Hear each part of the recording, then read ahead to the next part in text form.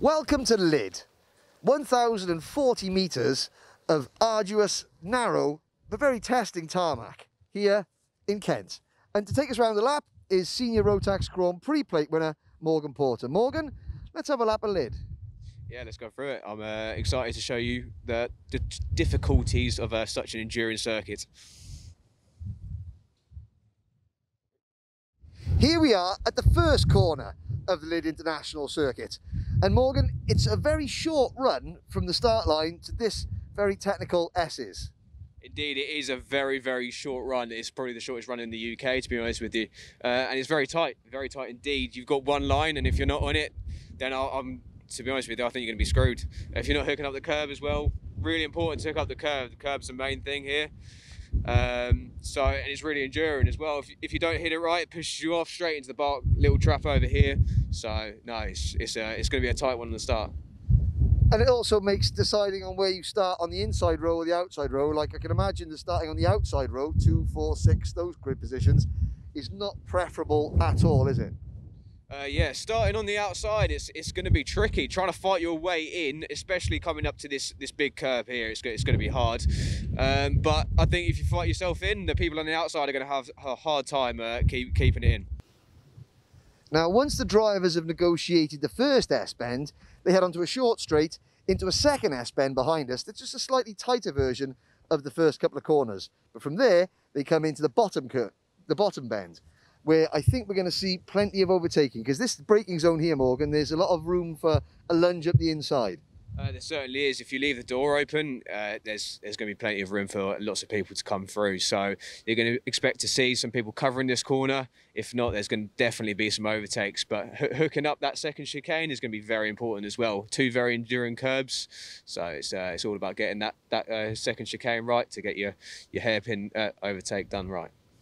Now, a lot of drivers I've spoken to this morning have said that overtaking is possible at nearly every corner, but you've got to be brave and you need a bit of cooperation from the driver that you're passing. And I'm noticing there's not a great deal of runoff on the outside of this bend.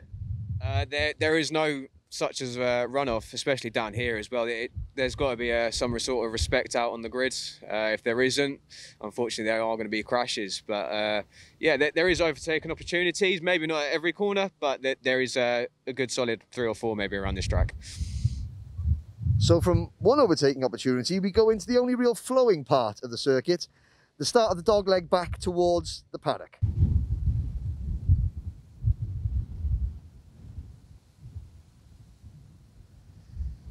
Now, one thing you'll notice about Lydd is that it's flat. Flat, that is, apart from one little crest just behind us there. And that crest, it, it comes at a really opportunity because you're setting yourself up for running into this, this next sort of series of bends, this right, left, right that leads out onto the back straight. How does that affect the kart when you're coming over there? And does it uh, create an overtaking opportunity? Uh, it certainly does create an opportunity, uh, overtaking opportunity, but uh, there's an unforgiven curve on the inside that you've always got to be wary of. Uh, so yeah, no, it's a, it's a, it's an interesting little corner. There's none like it in the UK, uh, um, but I'll give you that. Coming over the crest, it unsettles the kart a little bit, uh, but then you can you can set yourself up for this corner. It's really nice. You go over the long like long left hander back onto the back straight, and yeah, it's a, it's a really nice little smooth section. Now, eagle-eyed viewers might have noticed that it's slightly breezy here today. Morgan, uh, how would the how does the wind on a day like this affect the balance of the kart and affect the you know the, the pace around the circuit? Uh, the the wind here is a, is a big factor for sure. The uh, the tow can happen at any little straight that you go through, especially like coming into this this little bend here. You, you can get a tow just coming into here, especially. So uh, no, the the crosswind as well going over the hump can always affect you as well. So in short, another potential action zone there, the crest into the third and the third sort of complex of corners. Yeah, sure is. So we're now on to the approach of the final corner on the circuit. And as you can see, it comes at the end of the longest straight. Now, it gives the drivers a chance for a well-earned break, but also a crucial opportunity to slipstream and set up your rivals for either a move into this final corner or to set them up to come out for a move coming out of the final corner onto the start finish straight. Uh, yeah, certainly. It's your, your only break on this circuit, And uh, to be honest, you can't relax because uh, it's uh, with the with crosswinds like today, you got you always got to watch yourself because there's uh, the slipstream is going to create a lot of overtaking moves down into this corner. So always always watching yourself. Um, but no, it's a, it's a nice little straight. It's good to have a little break from a very enduring circuit. Now, it's a very quick lap time, but like you said, it's a very physical lap. Uh, something that would surprise a lot of people here because looking at just the, the flat nature of the place, it is a real physical test for the drivers, isn't it? It, it, certainly is. I'll probably, probably put it as the most physical uh, track in the UK. It's uh, very hard. The curbs are very uh, dominating, but no, it's uh, it's it's a joy to drive.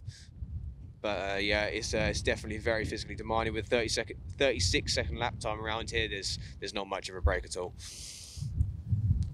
So there you have it, a lap of Lydd International Kart Circuit with 2020 Senior Rotax Grand Prix winner Morgan Porter. Morgan, thank you very much.